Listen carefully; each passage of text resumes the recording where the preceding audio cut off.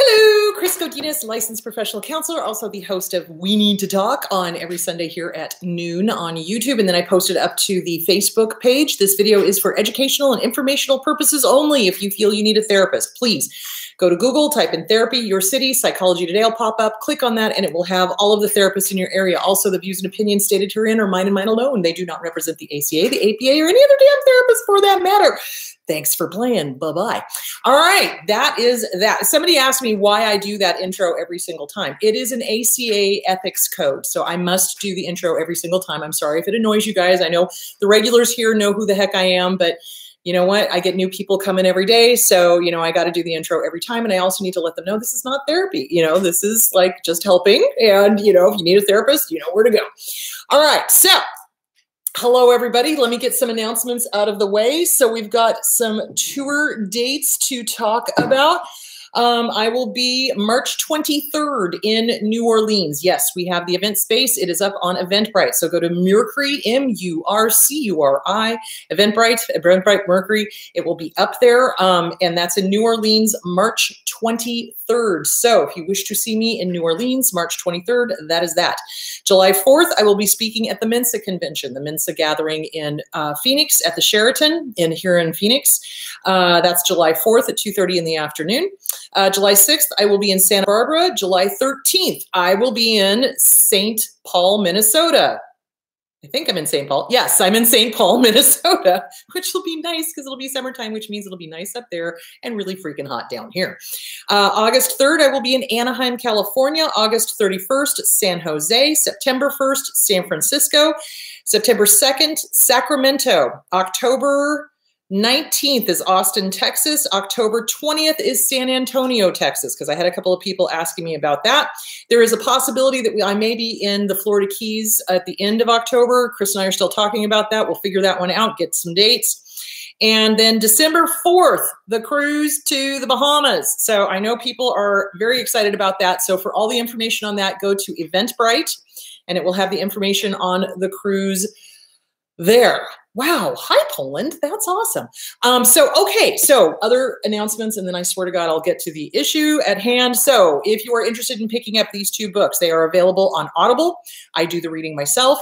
Um, I also have a very talented voice actor working on this one.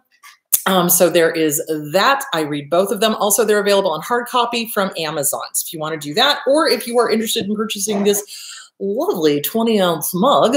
My nephew was so funny. It's like I brought him a whole set of mugs and he was like, this is awesome because he loves big, you know, hot chocolate mugs and things like that. Anyway, so available on eBay. So there it is. All right, there is that. Okay, Bombay, India.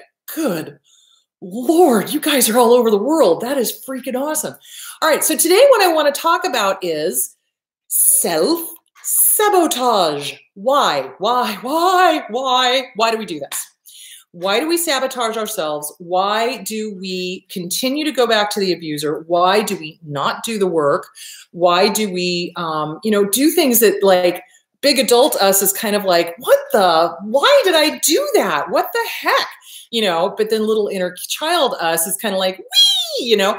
So this is what I want to talk about. So the ways that we self sabotage ourselves are not always super obvious. Okay. They're sneaky. It's really kid that doesn't want to do something, right? So it's kind of like, you know, go in your room. I'm tired. I don't have time. I don't want to, you know, it's like, it's not like a real obvious kind of sabotage, but it is a sabotage. So what ends up happening is, is that we, if we do not work on the inner child. If we do not work on that first time that we got wounded, okay, whether that inner child is a wee one, a little one, you know, like two, three years old, or whether that inner child is a teenager, or whether that inner child is, you know, middle school or whatever, we keep going back to that frame of mind and we keep running from that particular frame of existence. So if you read the Pete Walker book, if you read the Inner Child Workbook, they both talk about this all the time. And what we tend to do is working on that original wound is not for pussy ass bitches. That's what I tell everybody. Recovery is not for people who are scared. It's not. And it's the same thing for recovering from uh, an abusive relationship. You must be brave. You must. You must. Because if you're not, you'll never do the work. So, and that's what I tell people. It's like people who are in recovery, man, props, because it is hard work and it is scary work. And if you are dealing with, you know, little one that was abused or harmed or set up back then, that's the age frame that you're going to be thinking from. And it's terrifying. It's terrifying. So whatever age it was that the damage occurred, whether it was little, little, whether it was middle school, whether it was high school, whether it was young adult, that's where we keep going back to. And that's where the fear is. So really what ends up happening is we allow the fear to sabotage us. We allow the fear to stop us. It looks too much. It looks too overwhelming. Oh my God, this is too, I can't right? I can't, I'm trying. So when I work with addicts, that's the two words I tell them to get the fuck out of their dictionary right the hell now. So I can't. No, it's I won't. It's a choice, people. And I love it when when professional victims sit there and go, "No, it's not. No, it's not a choice. It's not." Yeah, it is. It is. And I will tell this story again. So when I was out at Disneyland with my little niece, she was gesticulating, you know, talking with her hands, and she was very, very, very excited. It was very early in the morning, about seven o'clock. It was a little cold. And at one point, boom, every single water on the table went straight into my lap. Now, I had a choice at that point. I could either ruin the day and scream at the poor kid for a fucking accident, or I could laugh. And I chose to laugh. And the waiter came over to me and said, Oh my God, do you know how many parents would have screamed at that poor kid and ruined the day? And I said, Yeah, a lot. I'm not one of them. So it is a choice. Our emotions are a choice. Now, yes, you are going to have a knee jerk reaction because in that moment, I recognized I have a choice. I can scream or I can laugh. And I chose to laugh. So our emotions are a choice. And anyone who says otherwise is either selling you something or lying. There we go.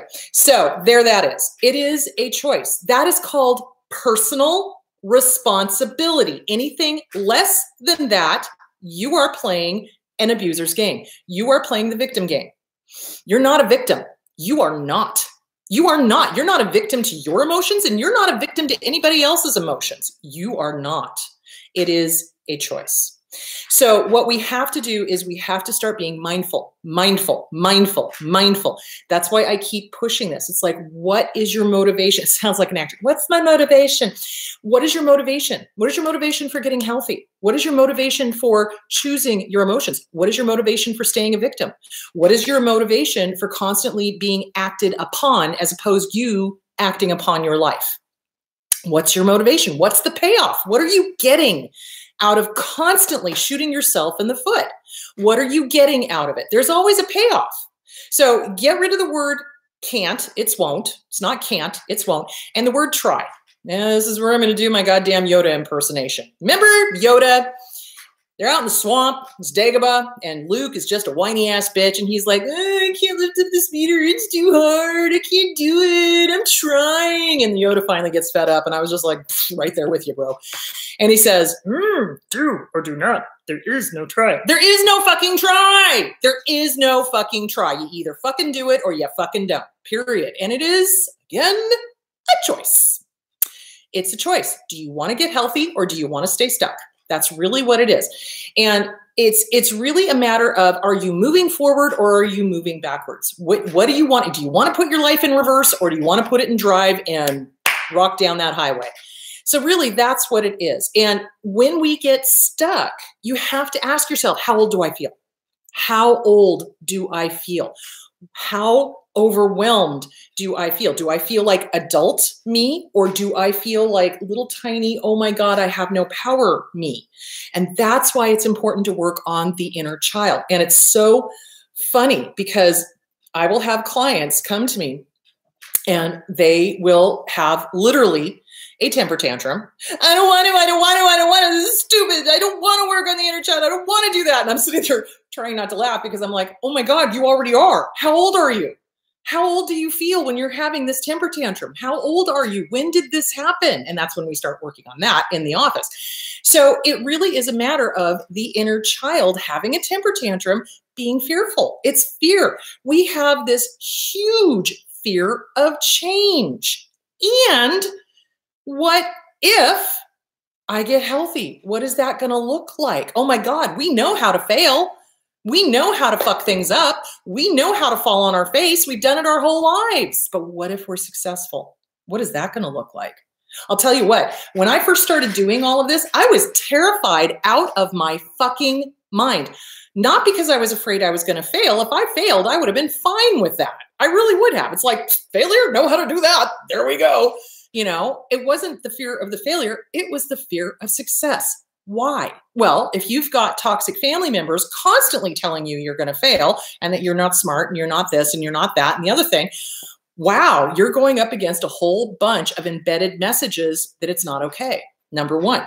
Number two, we know how to fail. We don't know how to succeed. And it's really important to stop thinking that you have to fail. You don't. You get to succeed. And that's why I teach everybody when I do the mirror work at the end of the day, come back, make eye contact with yourself. List three things you did right. Hi, good to see you again. Oh my gosh, great day. Here are three things you did right. And even if those three things are as simple as I got up, I breathed, I fed myself, huzzah! Movement forward. Fan fucking tastic. Do it. So this is the thing is we get stuck in this thing about, oh my God, I know how to fail, but I don't know how to succeed. So it's really, really important to start training yourself to succeed and give yourself permission. So when you are doing the mirror work, when you are working on yourself, because let's face it, guys, everything, literally everything boils down to self esteem, which means self respect, which means self love, self kindness, self gentleness. That's what that all means. It's not some nebulous kind of, oh, I don't know what self esteem is. It's how you treat you. So we sabotage ourselves on so many different levels, but people with self esteem don't. People with self esteem don't put up with abuse from anybody, themselves included. So when I say you got to get the self esteem workbook by Schiraldi, you got to do the mirror work. You got to, because if you don't, you're not going to move anywhere. You're going to stay stuck.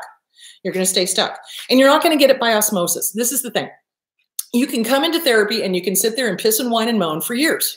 But if you're not doing the work, you're not going to get better. You got to do the work. And the work is what is scary. Because now we're having to come up against now here's here's one scenario that I really want to talk about.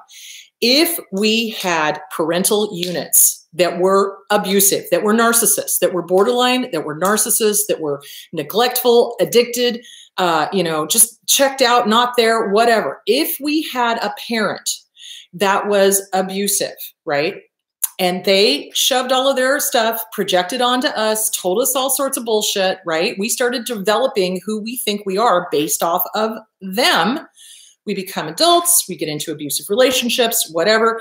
And then when we go to work on confronting that original wound, that parent, that parental unit, all of that projection, all of that crap that's not true, it is terrifying.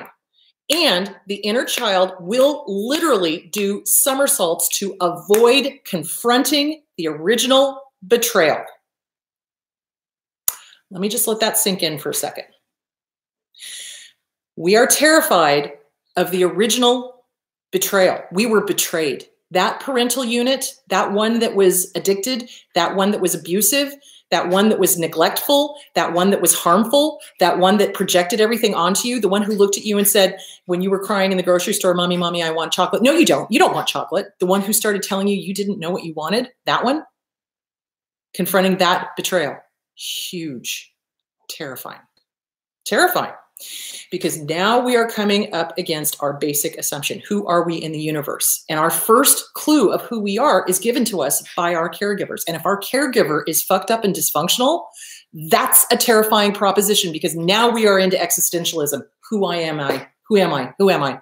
Who am I in this universe? What do I mean? What does my existence mean? And that's scary. And that is terrifying to a two year old. Does that make sense? So, this is why you have people, and we do this. We all do this. We all fucking do this that put off recovery, don't stop using substances, don't take care of themselves, don't go to therapy don't do the work because we are trying desperately to avoid the real issue, which is the original betrayal from the parental unit. It's terrifying. I went through it, guys. If you read my effing book, I talk about it. I did it in my teens and my 20s, okay? Because I knew there was something desperately wrong with my family. Like, really. And it was heartbreaking. It was heart wrenching. It was an existential crisis. You betcha. I don't think a whole lot of people talk about this. I really don't. And they really fucking should. So when we go into recovery from anything, whether it is a substance, because that's only a symptom of what the deeper issue is. If you are drinking and drugging, you are trying to cover something up. Same thing if we're trying to cover something up if we've got a dysfunctional family. So what we don't hear or what we don't talk about a lot is the existential crisis that happens when we confront that original betrayal and that original emotional abandonment. Bam, it's going to happen, guys. You are going to be questioning your existence. You're going to be questioning who you are in this universe. You're going to be questioning, does anybody love me? You're going to be questioning, why am I here? Oh my God, am I going to die alone? You're going to be questioning all of this stuff. And it is terrifying. It is. So, congratulations, you're human. You're having a real, genuine emotion and you're thinking about deeper things than any abuser ever will because abusers don't go that deep. So, do you see where I'm going with that? So, congratulations. The terror is telling you you're on the right fucking path. Don't stop. Keep going forward. You will get through it, but you won't get through it if you throw down your hands and stand there and go, eh, it's too scary. Eh, I don't want to do it. Eh, I'm just going to stay right here. Do you know what's going to happen? You're going to get stuck. And if you get stuck, the people around you are going to get really fucking pissed off. They are because they're going to be like, what are you doing? What the fuck? Keep moving forward. Stop being a victim. Move forward. Move forward. Move forward. So, he who hesitates is lost. This is the thing. We hesitate. We all do. I did. Everybody I know does. We hesitate because we don't trust. And I cannot teach you trust. All I can tell you is listen to your gut. Don't listen to your heart. Don't listen to your head. Listen to your gut. That's where your trust is. That's your intuition. That is our second brain, quite literally. And I cannot teach you to trust, but this is the thing. We get into the middle of it and we freak out and we stop trusting. And the first person we stop trusting, boom, boom, boom, ourselves. So it's really important to work on self esteem with a goddamn good therapist who understands this shit who gets that it's terrifying, who gets that you're going to be stuck occasionally because the two year old is, is having a temper tantrum, who gets that it is an existential crisis when we leave an abuser. It is because now we have to go back and figure out who was the original abuser? Where did we get abandoned first? Who betrayed us the first time? Who was the original betrayer? And that's what's terrifying because really realizing that that parental unit did not have your back, did not love us, did not really have our best interest at heart, that's terrifying. That is terrifying. It is when you really realize it and you go, shit, they didn't have my best interest at heart. They weren't looking out for me, they were looking out for themselves. Fuck. You know, it's terrifying. It is. And it brings up all sorts of emotions. And if we are with or have been raised by abusers, we don't know how to deal with emotions. Why? Because abusers do not allow us to have anything other than happy, happy, joy, joy. And it's a fake happy, happy, joy, joy. Because if we're really happy, happy, joy, joy, they make sure we're not happy. They're, they don't want us to have any real emotion. They don't want us to be angry. They don't want us to be sad. They don't want us to be questioning our existence. They don't want anything that isn't convenient for them. Do you see where I'm going with that? So, yeah, there is going to be a ton of emotions that you are going to have as you are leaving your abuse, as you are working on yourself, self esteem. Let's talk about that. The interesting thing about every single last one of us is that we treat everybody else with kindness and love and respect and joy and and empathy but we are so goddamn mean to ourselves that shit has got to stop it does i want you guys to treat you the way you treat everybody else we all put ourselves on the back burner. We do not put ourselves first. And we come up with every excuse in the book as to why we cannot take good care of ourselves because we feel it's selfish. Ooh, gee, wonder who told us that? That would be the original abuser, or that would be the abuser we dated, or that would be the abuser we married. It would be an abuser, or that would be that boss, or that would be that best friend. See where I'm going with that? Let me clue you into something. Self care is not selfish. Self care does not involve harming somebody to make you feel better. Now, that's selfish, but taking care of yourself, making sure your batteries are recharged, that you're happy with yourself, that you love yourself, that you are good to yourself, that you are respectful of yourself, that's self care. All the things that you do for other people, do it for you do it for you first. It's just like I keep saying, it's like being in the airplane when they say, you know, if the mask drops, put your own mask on first and then turn and help somebody else because otherwise you're going to keel over. It's the same thing. Really, really start recognizing you are worthy of your own love, your own time, and your own attention. And we don't do that. And this is why we self sabotage because we don't think we're worthy. We treat ourselves last. We, we don't even think about taking care of ourselves. And I'll clue you into something else. Abusers don't ever want their targets to go to therapy. They don't ever want their targets to read self help books. They don't ever want their targets to journal. They don't ever want their targets to fill in the blank because they don't want their targets to heal and they don't want their targets to get strong and they don't want their targets to leave them because that is exactly what will happen once we start getting our own sense of self. So we sabotage in so many different ways. We sabotage by either, you know, not taking care of ourselves, not doing the work, or we sabotage by allowing that fear of that original abandonment to stop us from really confronting that original abuser whoever that original abuser was, whether it was a family member or whether it was a boss or whether, it, and I don't mean confronting like calling him up and going, George, you're a real dick. No, you're not going to do that. What I mean is really working through that emotion of, holy shit, that parental unit did not have my back. That parental unit really was all about them. That parental unit could care less, couldn't care less. It's not could care less, it's couldn't care less. Couldn't care less what happened as long as they got taken care of wow, ouch, damn, that's hurtful, that's painful, that's scary. And so we allow that fear to stop us from really pursuing that. And do you know exactly what needs to happen? You need to really pursue that. You need to really get angry with that parental unit. You need to get really sad. You need to really work it out. You need to go through all of the emotions and recognize it's not you, it's them. It's not you, it's them. You're not the defective one. I'm sorry. Babies pop out of the womb, right? And a normal parental unit loves them unconditionally, unfucking conditionally. No strings attached. A fucked up dysfunctional family unit, however, the child pops out and, oh, you've got this job, you've got that job, and I will love you if, and if you make me happy, I'll love you, and if you do this, I'll love you, and if you do that, I'll love you, and if you did it, do you see where I'm going with that?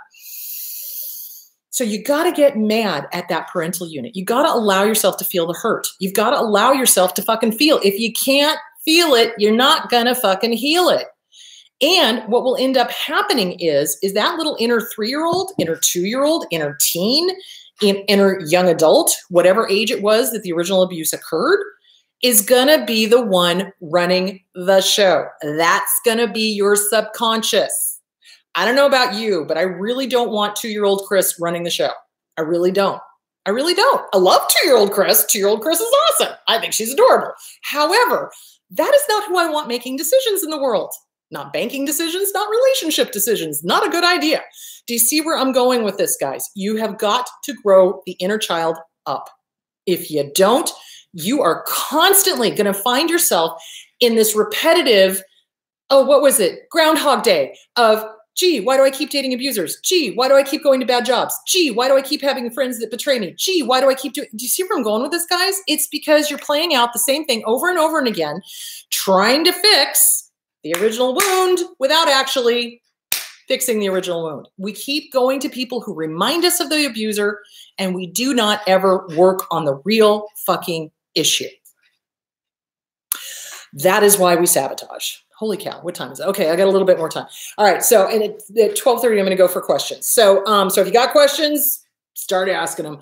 Um, Okay. Oh, and here's the other thing. If you are uh, putting stuff up in a foreign language, we're just going to delete it, guys, because you know, it, if I don't know if you're saying something nice or something nasty, and we don't have time to translate it, so it's just going to get deleted. So please be respectful. Please don't say anything stupid, and and you won't get deleted, basically.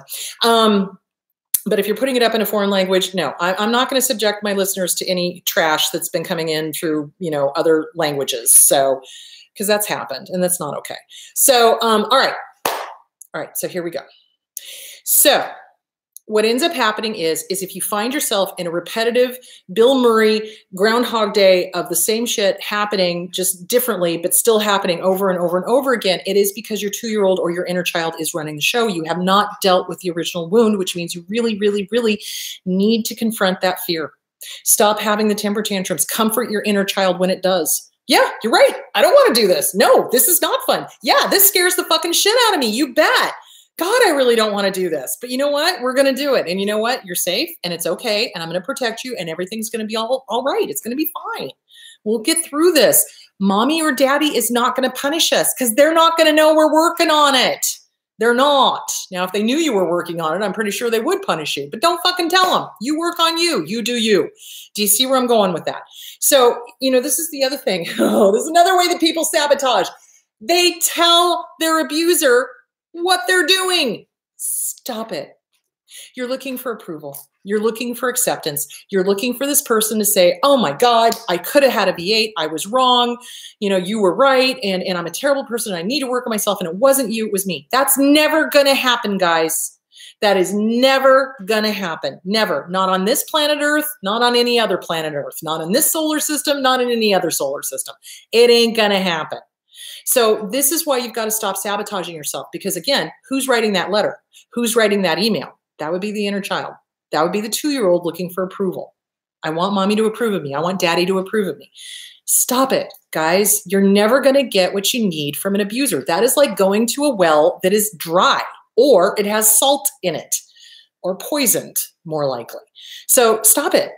Stop it. Stop looking for approval outside of yourself. That is other esteem. Self esteem is just that tiny little voice inside that says, Hey, I like you. Hey, you're a good person. Oops, you fucked up. Okay, make amends. Keep going. Did you make amends? Good, you did. All right, forgive yourself. Move on. That's self esteem. Other esteem looks like this. And when we rely on somebody else to tell us who the fuck we are, guess what? If they go away, we go kathunk. No bueno. If we are standing on our own and they are standing on their own, we can come together, we can kind of weeble wobble. And if they go away, we weeble wobble and we're fine. Does that make sense? So there is that. All right. So I hope that explains why we are sabotaged. Why do we go back to the abuser? Because we keep expecting a different outcome.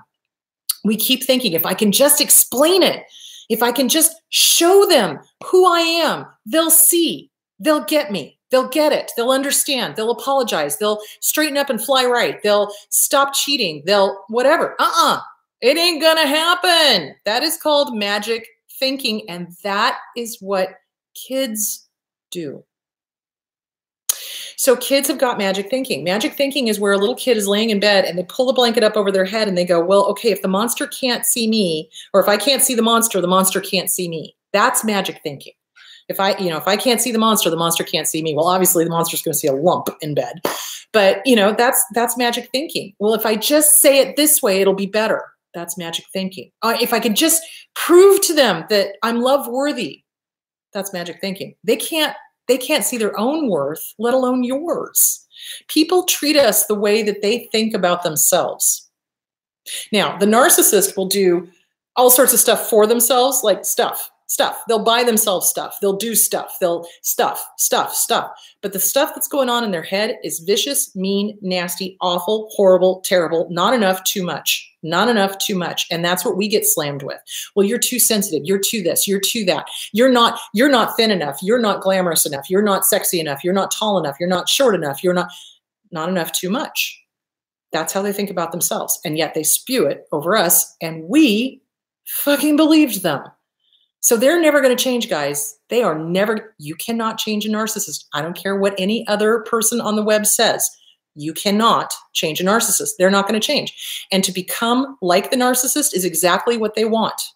They want everyone to act just like them so that they can justify their own vile behavior. Don't do it. Rise above. Work on you. Work on self esteem. Get the Self Esteem Workbook by Glenn Schiraldi. Get Radical Acceptance by Tara Brach. Get Radical Forgiveness by Colin Tipping. And everybody gets their panties in a bunch. Oh my God, I'm not going to forgive them. Okay, uh, Buddhist, Buddhist, Buddhist here. Uh, picking up anger is, you know, wanting to revenge and wanting to harm and wanting to carry anger around is like picking up two hot coals and tending to throw them at somebody else. The only person that's getting hurt is you. The best thing you can do for a narcissist is ignore them. You know why? Because they hate that.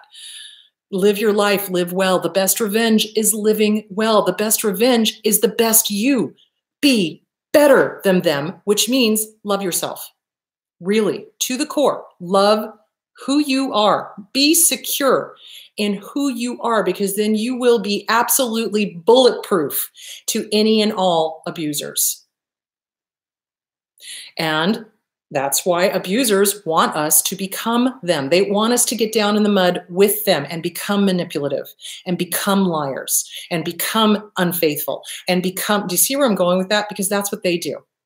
And so they accuse us of doing what they do. And if they can't, then they try to tell us, well, we need to be just like them. Mm-mm. Mm-mm. No, sir, Bob. You rise above. You be honorable. You be filled with self esteem, self worth, self knowing, self love, self respect, self kindness. Live well. Have ice cream. you know? All right. I am going to take questions. So, all right. Uh, how do I overcome the negative voices and undermining behaviors from relatives? You get rid of them. Flying monkeys, guys. Let's let's talk about that. When we get out of a, a, negative relationship, an abusive relationship, whether it is a romantic relationship or a family familial relationship or whatever, we're going to start cleaning out our closet, and it is going to feel like, oh my God, we don't have anybody. Well, yeah, because if it's the family that we're cleaning out, I can guarantee you, if there's one that's disordered, there's probably more. So you got to get rid of all of the flying monkeys all of them. So there are two ways you can do it. Hang on just a second. So, two ways you can do it. One, you can go low contact. So, if you don't want to break contact completely, you can go low contact, meaning you contact on your terms, you work on you in between, and you go gray rock whenever you have to have contact with them. So, gray rock is when you don't give them anything. You don't give them any emotion. Remember, these guys are looking to poke the bear, poke the bear, poke the bear, poke the bear. Why? Because they want to hear the bear go, Rawr. okay? That's what they're looking for. They're looking for the bear to roar back. And then they can go, oh, Did you see how he roared back? Oh, did, he's cray cray. Oh my God. And then now they've got all their gossip. Okay. So you want to go gray rock. Gray rock is, I don't know if you guys have ever watched a Kung Fu movie, but there's always the Zen master. There's always the master who teaches like Jackie Chan or Jet Li or whatever. And they, you know, they're calm. Like no matter what crap is coming at them, no matter if they know they're going to die, they're totally calm. They're totally calm and they don't give the abuser, the attacker, any emotion at all. None. Uh huh. Uh huh. Uh huh. Uh huh. Uh huh. Uh huh. Hmm. Uh huh. Nothing. Nothing. Gee, look at the time. Gotta go. And is that going to drive the abuser crazy? Yeah. Will it make them react? Oh, yeah. But they're also going to look like the crazy one because they're the ones roaring, and you can just kind of sit back and go, hmm, isn't that interesting? Oh, look at that little vein popping out on the side of their neck. Yeah. Detachment, guys. Detachment. Abusers are liars. Abusers would not know the truth if it walked up and did the Watusi with them. Okay. So let them, let them come unglued. Let them self destruct. The whole thing about Kung Fu is you do not ever attack your attacker. You allow your attacker's energy to take them to the floor. You allow them to destroy themselves, basically, is what it is. So it's really, it's learning to stop reacting and it's learning to do gray rock, which is you don't give them anything. You give them nothing. They've got nothing. Well, why are you doing that? Da, da, da, oh, Well, sorry you feel that way. Little bit of their own medicine, but in a good way. Okay. It's not like you're it's not like you're doing it to necessarily poke them, but you're doing it to, for self-preservation so that they've got nothing, so that they cannot come at you, right? So gray rock, that is what gray rock is, is you just do no emotion. It's uh-huh, uh-huh, uh-huh, uh-huh. I gotta go. Okay. Mm-hmm. Sorry you feel that way. Uh-huh. No emotion, none. And then you go low contact. Now, if the family is toxic and harmful and hurtful and they're just all up in your business and stuff, you go no contact. That means you delete them from Facebook, you delete them from all social media, you get rid of them, you have no contact with them, you don't do anything with them. If they call, you're busy unless it's on your terms. And this is the thing that I hear a lot is like, but I feel so guilty, I feel so guilty, I feel so guilty. So let me clue you in, guys. Healthy relationships do not have fear, obligation, or guilt. It doesn't. It doesn't. You hang out with somebody because you want to. You're with somebody because you want to. You are doing things because you want to. You enjoy their company. And if you don't, you are under no obligation to talk to them. And I don't care who the fuck they think they are.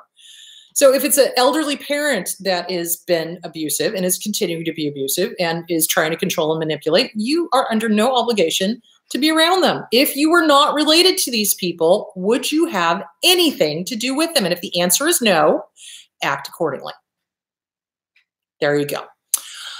So, how do you overcome the negative voices? It is working on self esteem and it is doing mirror work and it is writing and journaling and doing positive affirmations for yourself in the mirror. When we look in the mirror and people say, Oh, I don't like what I see, Mm-mm. it's not that you don't like what you see, you don't like what you hear because you're saying something mean to you. I can guarantee it. So, when you look in the mirror, you want to make eye contact with yourself and you want to say, Hi, Good to see you. Have a great day. Hey, I give you permission to get rid of all the flying monkeys or whatever it is you're working on. Or hey, I give you permission to like yourself. Or hey, I give you permission to say the nice things to you. That kind of thing. Because we have to give ourselves permission because we're talking to that inner two year old. So if we had a non non permission parent, we're going to have to give ourselves permission. We have to re raise ourselves. So there is that. So that's how you start with that. Get with a good therapist. Get with a really good therapist that's going to help you through this cleaning out period, this existential who the fuck am I period. Get with a good therapist. Start being nice to you. Be your own advocate. Be your best advocate. What do advocates say? They say nice things. They encourage, they support, they lift up. They don't harm, they don't put down. And if you listen, really listen to the bullshit going on in our heads, to that interior dialogue, and it's coming from family, it's going to be a combination of either not good enough, oh, you're not good enough, you're too this, you're too that, you're not good enough, you're da da da da da, or it's going to be, oh my God, what if? Oh my God, what if? Oh my God, what if? You know, do you see where I'm going with that? So both of those, you have to say, thank you for your input, shut the fuck up. Why? Because I say so, you say so, you're the boss. I say so, I am good enough. And I refuse to live in a future that has not and probably will not happen. So fuck you very much. Not doing it. Thanks. Bye bye. That's what you do. Constant. It's constant. You've got to put these thoughts down like a rabid goddamn raccoon or dog or rabbit animal, whatever. Do you see where I'm going with that? So there that is. So it's working on the interior dialogue, it's working on the self esteem and boundaries. It's the codependency. It is not our job to make these unpleasable fuckers happy because they never will be.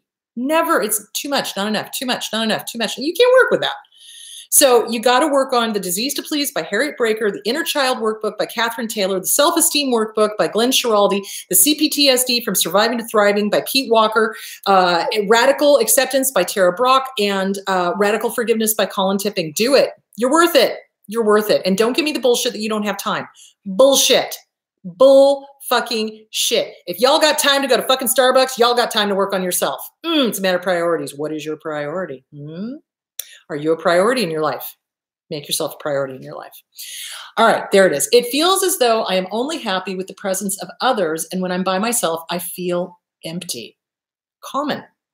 Common. So when we do not have a parental unit to teach us how to, we don't know how. That's what I'm telling you. Get all these books. Start doing the positive affirmations. there is so much more to you than you even realize. There is so much amazing to you than you know.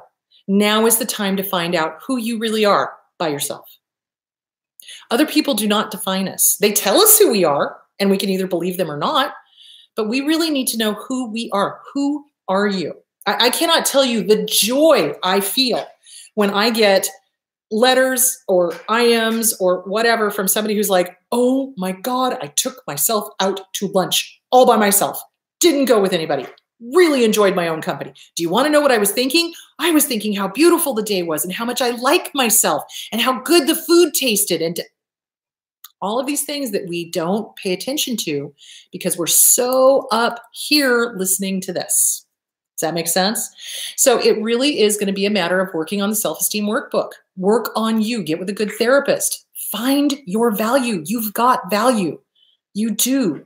We are all children of the universe. We are. And we're all just walking each other home. So go find who you are. And you're going to find it's amazing. If you've survived a narcissistic, abusive relationship, you're a fucking warrior, man. You know, we all are. It's terrifying. You, show me a warrior, I'll tell you somebody, show you somebody that was terrified to the core before they've marched through that fire. You bet. It's terrifying. It's terrifying to get clean and sober. It is. And it's terrifying to get clean and sober off of an abusive relationship as well. But there is worth to you. There is worth to everybody.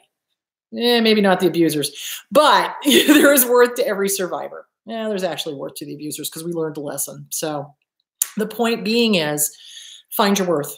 Find who you are. Enjoy the moment live in the here and the now. What we tend to do as addicts, because remember, we are just as addicted to the abuser as any heroin addict is to heroin. And what we tend to do as addicts is that we live either in a future that has not and probably will not happen, or we're living in the past and we're not living right here, right now. Why? Because of the nasty things that we say to ourselves. And that shit has got to stop. You want to get better? Shut this the fuck down. Replace it with the here and the now. So, what I do with my clients when they're like really in it and they're like, oh, the past, oh, the future, oh, the past, oh, the future, stop, take a deep breath. How many green things are in this room right here, right now? There's a lot of green in my office. So, getting them back to the present moment, touch the wall. What is the texture? Tell me what the texture is. So, it's a matter of getting us back into the present. We got to live in the here and the now. This is the only moment we have. This is this moment, this moment, this moment. Make the most of it. Enjoy taking yourself out to lunch. Enjoy telling yourself nice things. Give yourself permission. It's okay. All right, there is that. Um, why is it so difficult to be able to care to be with myself and care for myself? Because of whatever messages you got. So write this stuff down and challenge it. If you can, write down the negative stuff and then in the next column, challenge it. Tell it to fuck itself sideways with an unlubricated baseball bat. That's what you do. You constantly are going, nope, I'm not doing that. Nope, I'm not. It's called thought stopping. So when these thoughts pop up, now this is different from resisting. So with resisting, what we tend to do is a thought pops up. We're not even really aware of it. And we go, oh my God, I don't want to think about that. I'm not going to think about it. I'm not thinking, I'm not thinking, I'm not thinking. It doesn't exist. La, la, la, la, denial. Hello. And what are we thinking about the whole time? We're thinking about that one thought. Thought stopping is where you go, Oh, well, look at that. Mm-hmm. My abusive parent said X, Y, and Z about me. Is it true? No, it's not. You know what? Fuck you, asshole. I don't have to believe it. And you get to go bye bye. Bye bye now. Bye bye. Bye bye. Bye bye. And you send it on down the road. So it's thought stopping and replacing. And you replace with either I don't get to, I don't have to believe this. I don't have to believe this bullshit. We had to believe it when we were little. Yeah, because our parents filled our head with it. But we don't have to believe it as an adult. And that's what we have to keep telling our inner child. It's like, I don't have to believe their bullshit. I don't. So that's why it's so hard because it's it's been a habit. And so we have to undo the habit and then replace it with the positive stuff. Positive affirmations. That's what you want to do. All right. When I was in a relationship, I denied that all the abuse was happening. I left and now I only remember the abuse. Why is this? Well, oh boy. So when we're in an abusive relationship, whether it is a romantic relationship, whether it is a parental relationship, a job relationship, or whatever, we do we go into denial, and it's um, it's an ego defense. It's it's one of the ego defenses. This is a way that we survive. If we go, oh no no no, it's not that bad. Oh no no no no, that's not really happening. Oh no no no no, I'm just going to minimize it. It's a way for us to survive. So denial does have its place, but the problem of it is, is that we get stuck in denial and we keep making excuses for the abuser and we keep not admitting that the abuse really is as bad as it is, etc. So um, yeah, and we, if the inner child is protecting the abuser, then that makes me wonder what happened originally. What's the original wound? Who are you really protecting? So that's something else to take a look at. There's a reason we defend the abuser to the death because it reminds us of our original abuser. So that's why we got to figure out what is the original wound. Because if you do not fix this original wound, you're going to bleed all over people that did not cut you. Let me just say that again.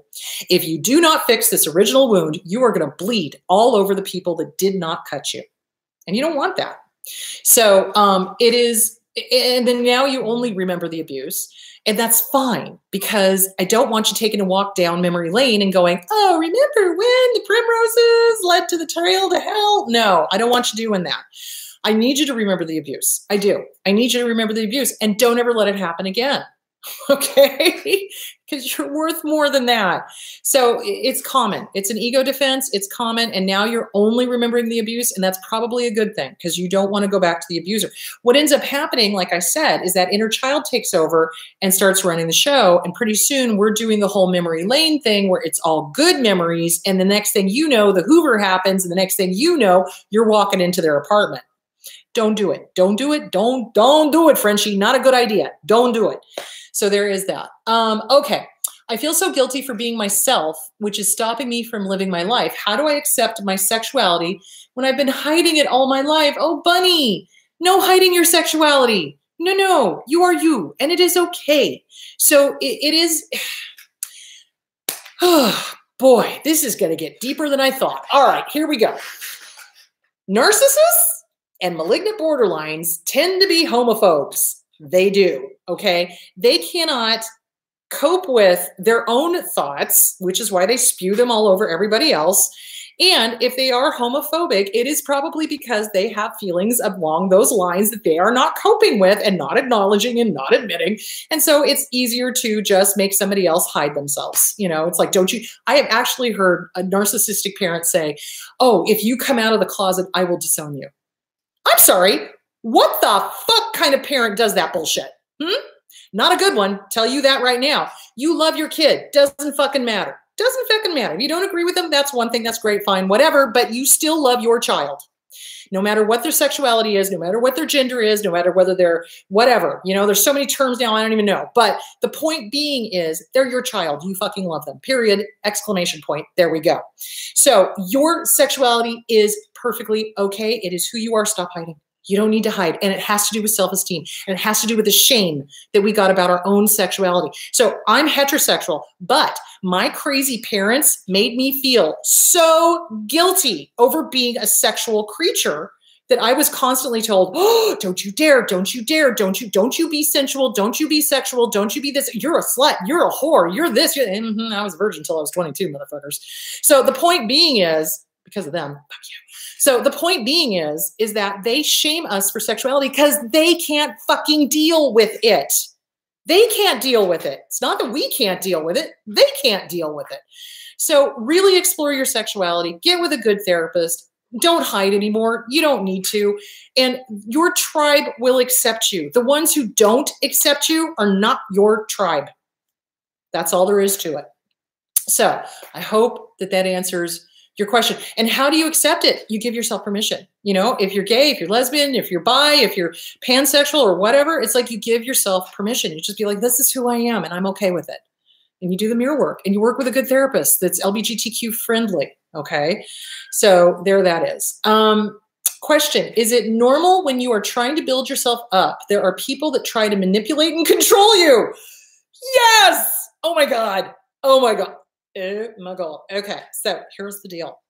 So when we start changing, what ends up happening is, is all of the people who are not changing or who in, are invested in us not changing try to force us back into our previous role. So if it is a dysfunctional workplace, if it is a dysfunctional family, if it is a dysfunctional whatever, hold on a second. All of the other people that have been put into these little boxes So, for example, golden child, ignored middle child, uh, comedic younger child, really dysfunctional families, second mom, second dad, um, really, really dysfunctional families, second wife, second husband, et cetera, et cetera, et cetera. All of those people are invested in, if you're the scapegoat, you not getting healthy. Because once the scapegoat or any of these roles start figuring it the fuck out and go, oh, oh, no, I'm going to work on myself. I'm going to get strong. I'm going to do that they are going to sabotage, sabotage, sabotage, sabotage, sabotage because they want you to go back to your role. Because if you don't, that means the abuser is going to have to find another scapegoat or another golden child or another whatever. Fill in the blank. So, yeah, there are going to be a whole bunch of people around you that are going to try to keep you from growing, keep you from changing, keep you from going to therapy. I'm sorry, anybody who refuses to allow you to go to therapy, ginormous red flag. They don't want you to change. They don't want you to grow. They don't want you to see them for the piece of shit that they really are. Big flag. Big, huge red flag. All right, so there is that. So yes, they will. How do you protect yourself? You get rid of them. They get, they start. I'll tell you what. I played life like a baseball game. Three strikes, you're fucking out. You know, you show me who you are, I'll believe you the first fucking time. I'm not going to wait around to be abused. I'm not.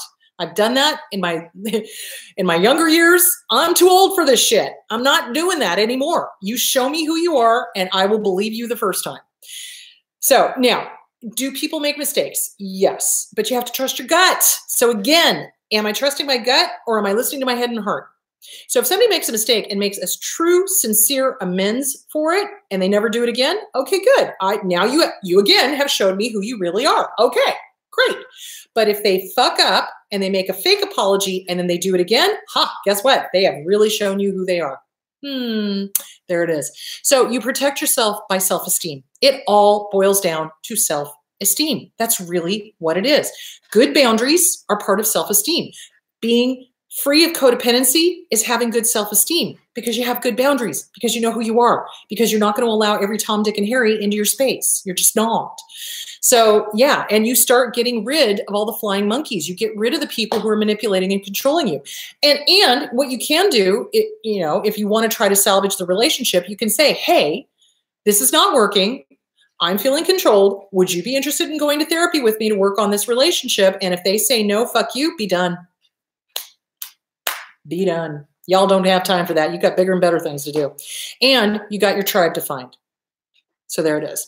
All right, question. Social media is a problem. I am so conditioned to tell everything that I'm doing for myself. Any practical advice to retrain myself? Oh, this is huge, guys. So here's the deal. Abusers train us to tell them everything. Everything. Nobody around an abuser has privacy, ever. They don't. They don't. Because the abuser demands that everything that they know everything. Because in their sick twisted fucked up minds if they know everything they can control everything. So that is why you never tell your abuser jack shit if you're planning on leaving the relationship. Hold on. So we get trained so who was the first person that trained you who trained you to say everything. So less is more on social media. You know, less is more. So if you go to my LPC page, I post political views, I post sometimes Victorian dresses or Victorian houses, lots of dogs, because that's my thing. I like dogs, I like Victorian houses, I like dresses. So, and, and I like politics, I do. Um, and as long as people are respectful, I'm, I'm cool with opposing views. But, you know, if you start calling me names, you're going to be booted right the fuck off. So you don't overshare on social media. If you notice, I don't really share a whole lot about me and John. I don't say, oh, hey, we're going here, or hey, we've done this. You know, occasionally I will, but not very often. And the reason why is, is because y'all don't need to know that shit. And you're all on a need to know basis. And that's the thing. We get trained by the abuser to just ver verbally vomit. We do. We get trained to say all of this stuff that is really nobody's fucking business, but we've been trained. So the way to untrain it is when you think about posting something, stop.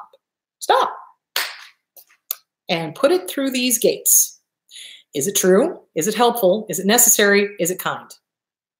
Is it intuitive? I left out intuitive. Is it true?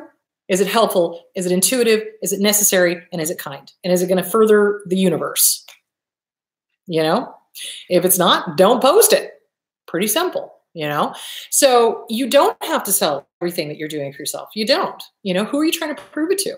Who are you trying to impress? Who are you trying to say, look at me, look at me, look at me, I'm taking care of myself? Who are you trying to show that they're wrong? That's what I see a lot in social media is that um, an abuser will harm somebody and then we get out of that abusive relationship and then we want to show them how great we're doing. They don't care. Newsflash. They don't give two rats' asses how we're doing. If they did, they wouldn't have treated us the way they did. So really, it's like really put it through the gates of do I need to say this or not? And who, who am I trying to impress? There you go. Think about it. And then journal it and figure it out and get with a good therapist and work on self-esteem. Work on self-esteem. Okay. Um, how do I know if my therapist is a good therapist to help me overcome self-sabotage? Are you making progress? Are you growing? Now, there are times when you can have a good therapist and not be making progress because you not doing the work. So it's going to have to be a matter of you really sitting down, having a coming to Jesus meeting with yourself. Am I doing the work? Am I working the workbooks? Am I doing the letter writing and burning? Am I doing the things I need to be doing in order to progress? Or am I just coming in and sitting on the couch and going, wham, wham, wham, poor me? And if you're doing the wham, wham, wham, poor me, you're never going to get better. So it, re, therapists, I saw a John Ritter movie once. I loved it. I can't remember the name of it. I want to say Pretty in Pink, but that's not Pretty in Pink. That was a John Hughes movie. Um, it was John Ritter, and he was an alcoholic, and he had a therapist, and so he came in and he was complaining and complaining and complaining, and he looks at the the psychiatrist or the psychologist or whatever it was, and he says, "Well, I'm not getting any better, and and you're not helping," and da da da da da, and he's like, "Look, I have no answers. I only have suggestions." you know, and that's true.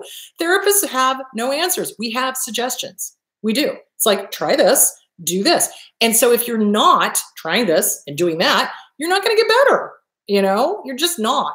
So if you're moving forward and if you're doing the work, then you're with a good therapist. If you're if your therapist is allowing you to sit on that couch for years and piss and whine and moan and not do the work and not call you on it, then it's your therapist is the problem. And you're the problem too for, you know, not doing the work. But you know, the thing of it is, is you can call the person on on the fact that they're not doing the work, and they may still just keep coming back and complaining. You know, but I always tell them it's like, okay, why are you wasting your money?